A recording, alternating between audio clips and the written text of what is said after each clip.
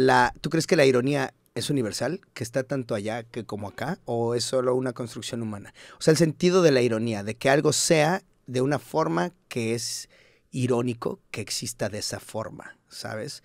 Como que la, el miedo a, la, a las palabras largas se llama hipopotomostro esquilosfobia, ¿sabes? Existe, o sea, eso es súper irónico, eso es un fact, o sea, eso no, no hay nada de, de o sea, no hay manera de, de darle este, subjetividad, de que no es posible que la el miedo a las palabras largas sea una palabra larga. Eso es, eh, eso es un ilógico que, que me pregunto también si existirá a nivel universal.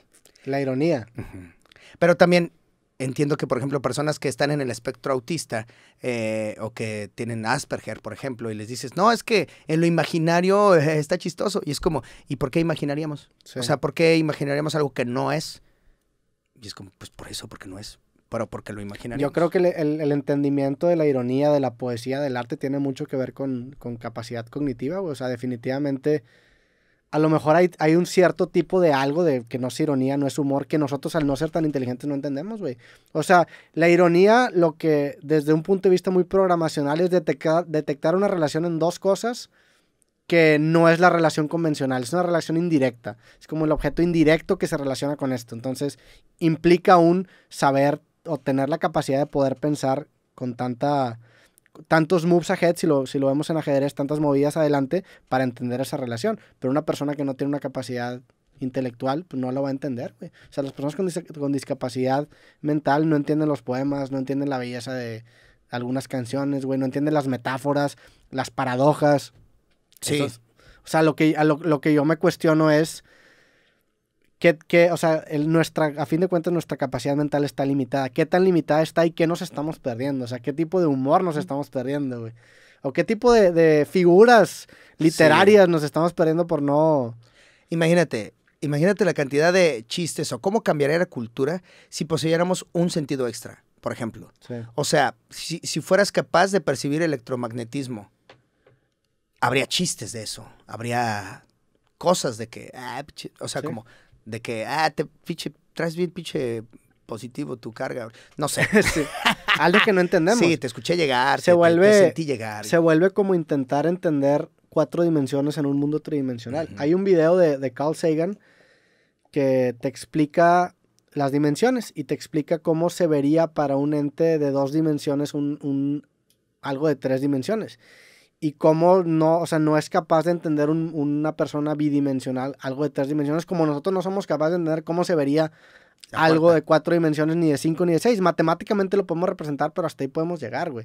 Y es algo que nada más no tenemos acceso a. Y esto pasa no solamente en el tema de dimensiones, sino en general. Hay un concepto futurista que se llama la singularidad, que es un concepto también de la astrofísica, que la singularidad tiene que ver con los agujeros negros y el punto en donde creo que ya no hay retorno. Por ahí está la singularidad. Pero dentro del futurismo las singularidades son estos eventos que cambian tan drásticamente la realidad que es imposible, o imposible entre comillas, explicarle cómo es la vida a una persona que nace antes de esa singularidad. Por ejemplo, el Internet. Tú vas con un güey que vi en 1840 y le dices, carnal, tengo este aparatito brillante que le puedo meter mis pensamientos, le pico la pantalla y se lo mando a un vato que está en China en cuestión de segundos la distancia es tanto que se vuelve una singularidad. Te quemarían por brujo. sí, al chile sí. Este, es un brujo, güey, quémelo, güey. Sí, sí, sí. sí, sí está perro. Entonces... Pero, güey, eso que dices de qué problemas tu hija te va a traer, pues sepa la verga, la verdad. Está re buena la idea, ¿no? Y, y, preparado sobre todo, porque me, me, dijo mi señora un día, güey, ¿qué vas a hacer si llega un día la niña, 12 años, pintada con el pelo así de colores como esa chava de ahí? Pues le digo, güey, toda la vida buscando que mi hija sea única, porque digo, perdón, soy de esos que, que cree que su hijo puede ser la respuesta. ¿no? pues supongo que viene precargado en el sistema operativo, ¿no? Pensar, porque está mal ponerle tantas este, esperanzas, tantas expectativas a un hijo, es doloroso, es pesado para ellos. Pero y si sí, ¿sabes? O sea, y si sí llega la persona que, que cambió todo, eh, si sí era la persona, o sea, si sí era quien...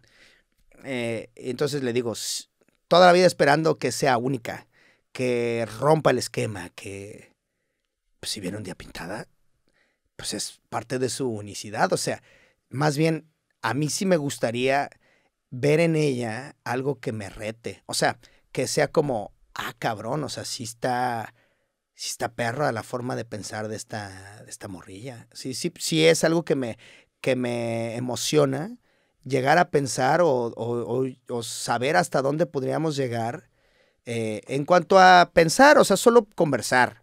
Solo conversar con una persona que lleva mi sangre, puta, eso está denso, está denso de pensarse.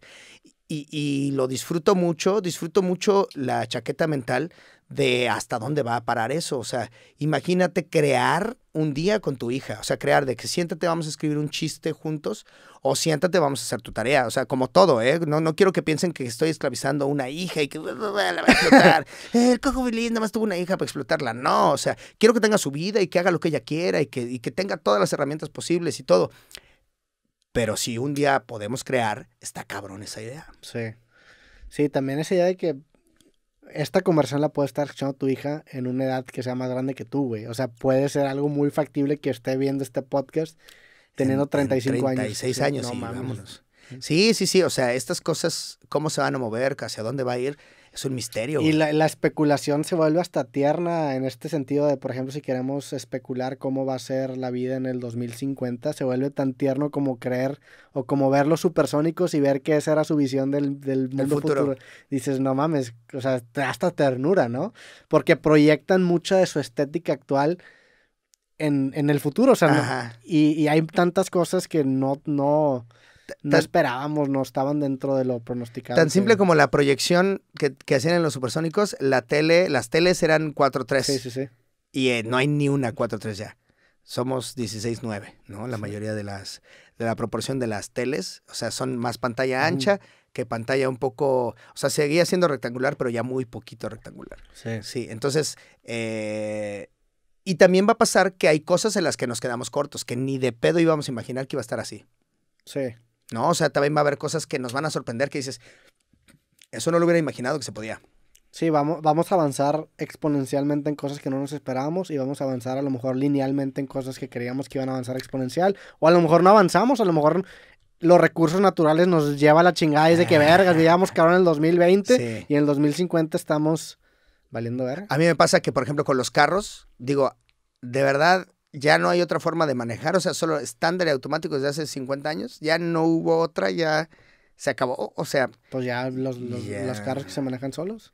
Pues sí, solamente eso, ¿verdad? Pero no hubo, o sea, no hubo una nueva, una... No, güey, o sea, Pero un así se maneja, o sea... Pues había, un, había uno que tenía cambios y también puede ser automático.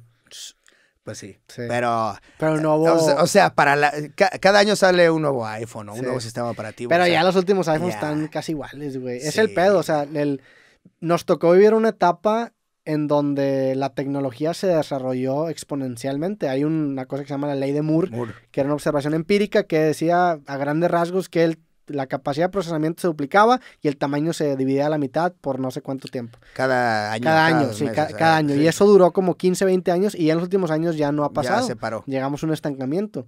Sí. Por las limitaciones físicas que esto implicaba. Entonces a lo mejor pasa eso en otras cosas y a lo mejor en ciertas áreas tenemos un crecimiento similar y, y otra vez crecemos en otra dirección. Tenemos la, la, la pirámide acá, pero pues a lo mejor crecemos para acá. Pues mira, lo importante va a ser juntar las cosas que, que, vengan para el futuro. O sea, voy a ser un. Voy a intentar ser artista, voy a intentar ser eh, comediante, me voy a seguir riendo de todo en el futuro y a ver qué pasa con la hija para, para el futuro. Hola, hija, ¿sí viste esto en el futuro? Ahí estamos, ahí estábamos. Eh, así nos veamos a los 30. así. Roberto Martínez todavía no era nuestro líder. Todavía, todavía no nos sometía a todos los mexicanos en, en el futuro, hija. Saludos desde México 2023. Sí, amigo.